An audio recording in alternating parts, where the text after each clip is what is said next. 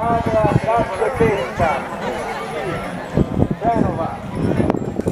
E Dieta, come tutti gli anni si proporre molte delle sue iniziative, fra cui la possibilità di tirare al mondiale.